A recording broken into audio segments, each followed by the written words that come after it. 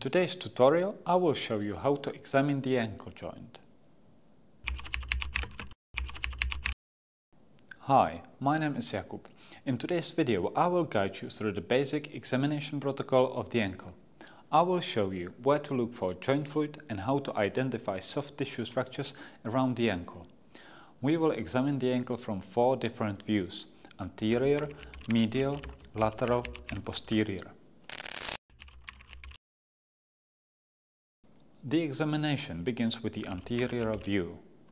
In the transverse plane, the talus is visible with a thin anechoic layer representing the cartilage. Superficial to the talus from the medial side, we can observe the tibialis anterior tendon, the extensor hallucis longus tendon and muscle, and the extensor digitorum longus tendons.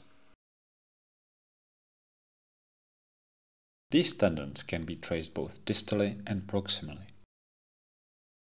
Another structure visible in this view is the dorsalis pedis artery. When we rotate the probe 90 degrees into the longitudinal plane, we can assess the tibiotalar joint. In this view, the tibia, talus, talar cartilage and fat pad are visible. This area is a potential space where joint fluid may accumulate.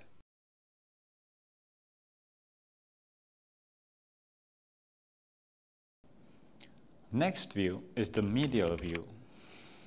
When we place the probe posterior to the medial malleolus in the transverse plane, we can evaluate several structures.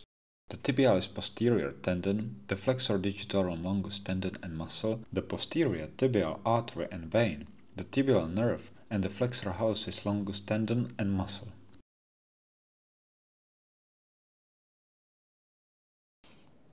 Next view is the lateral view. When we place the probe anterior to the lateral malleolus in the transverse plane, we can evaluate the anterior talofibular ligament, the most commonly injured ankle ligament which lies between the fibula and the talus.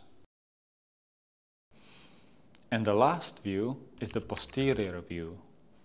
In the transverse plane, we can assess the Achilles tendon in its short axis. Below the Achilles tendon, the Kager's fat pad is visible. As we follow the tendon proximally, we can identify the individual muscles of the triceps surae.